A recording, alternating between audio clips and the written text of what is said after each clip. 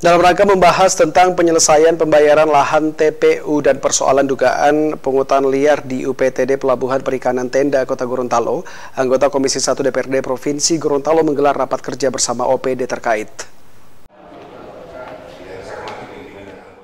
Bertempat di ruang Duluhupa anggota DPRD Provinsi Gorontalo menggelar rapat kerja bersama OPD terkait dalam rangka membahas tentang penyelesaian pembayaran lahan TPU dan persoalan dugaan pungutan liar di UPTD Pelabuhan Perikanan Tenda Kota Gorontalo.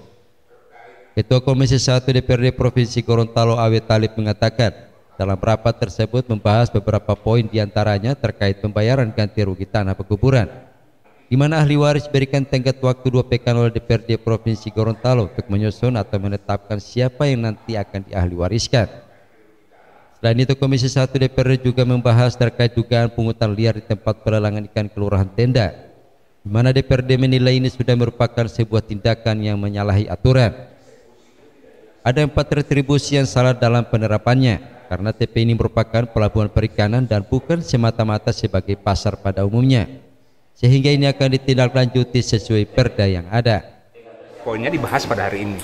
Yang pertama yang terkait dengan uh, pembayaran ganti rugi tanah pekuburan yang kemarin kita kalah di Mahkamah Agung tetapi diberi batas waktu dalam rapat sebelumnya sampai dengan hari ini tanggal 2 Mei. Ternyata bahwa pada hari ini juga belum terselesaikan.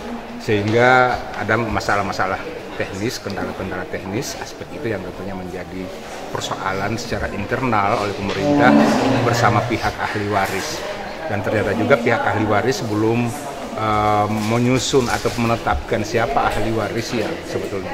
Jadi kita beri batas waktu lagi, tambahan batas waktu hingga dua minggu ke depan sampai dengan tanggal 15. Ya, kita evaluasi lagi tanggal 15 nanti. Kemudian persoalan yang kedua tentang TPI. Ya, TPI tadi kan begitu alot dalam pembahasannya, ada pungutan di dalam uh, TPI itu. Kami ibaratkan bahwa itu UPTD adalah sebuah rumah, tetapi dalam rumah ini ada uh, kepala rumah tangganya. Tapi kemudian ada orang lain yang mulai melakukan praktek-praktek pemungutan juga di dalamnya. Jadi kami menilai bahwa itu adalah merupakan sebuah uh, tindakan yang tentunya menyalahi aturan ataupun ilegal dan sifatnya adalah pungutan liar tentunya.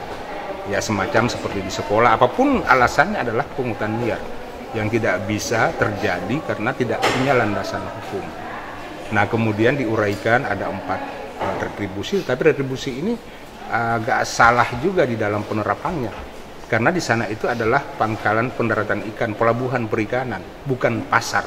Tetapi yang terjadi saat ini adalah seperti pasar, ada jualan rempah-rempah dan sebagainya.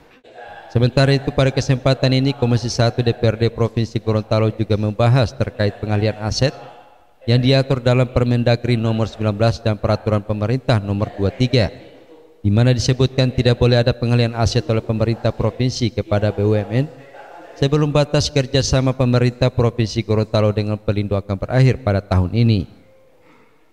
Tim Liputan Advertorial, Mumosa TV.